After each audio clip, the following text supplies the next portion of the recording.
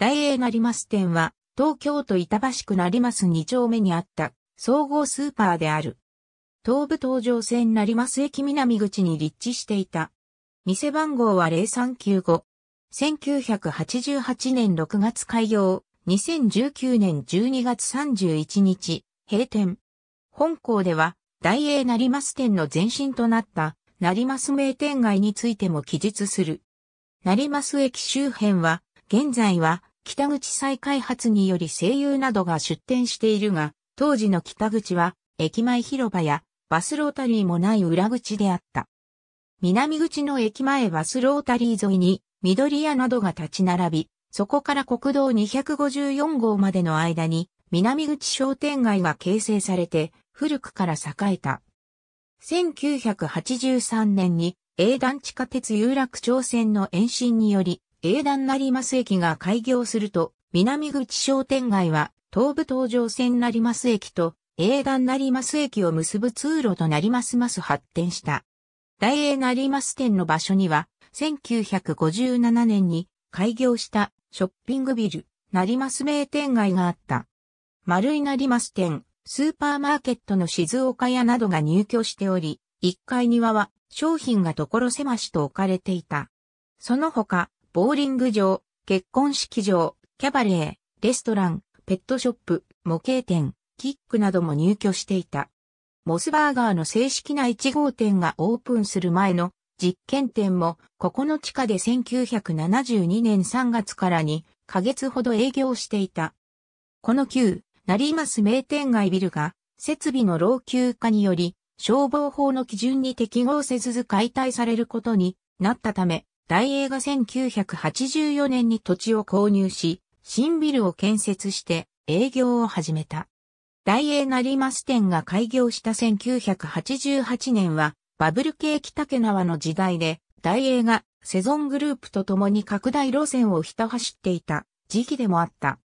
大英成増店開業の前年の1987年4月24日には、光が丘団地内に大規模ショッピングセンター、光が丘今が開業し、光が丘西部と忠実やフランツ練馬店が出店した。当時は都営地下鉄12号線の開業前であり、マンモス団地である光が丘団地には鉄道路線がなく、成増駅南口から西部バスでのアクセスが一般的であった。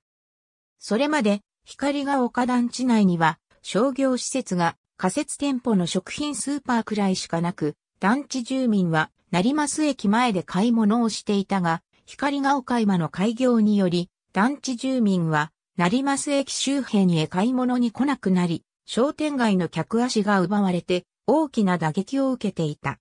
当時は大棚法により大規模店舗の出店が制限されていた時代でもあり、地元商店街が百貨店やショッピングセンターの進出に激しく反対し、出店規模を縮小せざるを得なくなることも多かった。しかし大英成増店の場合は、こうした事情があり、商店会も大英出店に賛成し、光が丘前の対抗のためむしろ誘致するような動きとなった。このため当時はまだ珍しかった地元商店街と大規模商業施設の共存共栄の例として取り上げられた。なお、成増名店街に出店していた静岡屋は、1980年代に忠実屋の参加入りしていたが、大英による忠実屋の吸収合併を経て、グルメシティ関東となっている。また、かつては大英成増店のライバルであった光が丘今の忠実屋、フランツ練馬店も大英練馬店を経てイオン練馬店となっている。1999年に開始された大英グループ再生3カ年計画の一環として2000年4月に本社機能を浜松町オフィスセンターから当店の4階の6階に移転し、本社のコーポレートスタッフ部門、営業スタッフ部門の約540名が移ってきたため、4階から6階の売り場としての営業を取りやめた。本社機能を当店に移転した理由としては、年間3億4千万円の賃料が削減できる売り場の変更により、事務スペースができる鉄道やバス等の交通の便に恵まれていることが挙げられている。2006年6月5日に、本社機能は江東区東洋に再移転し、合わせて4階から5階部分は専門店とカルチャーセンターとして営業を再開した。また当店にはグルメシティ関東の本社が置かれていた時期もあった。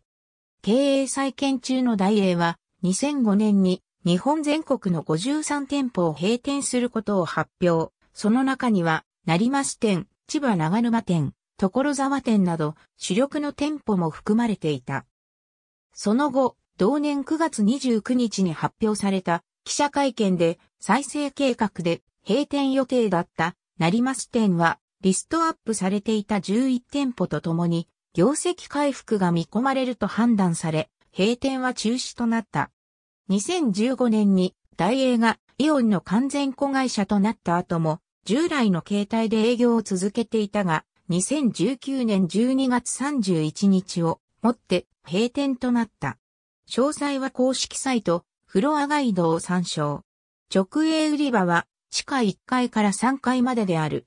地下1階は食料品、1階は日用品、化粧品など、2階は婦人医療、子供医療など、3階は、紳士医療、小型家電などを扱っていた。4階より上は、専門店フロアであった。地上6階、地下2階の建物である。建て替え工事は、鹿島建設が担当した。詳細及び一覧は公式サイト、専門店案内を参照。ありがとうございます。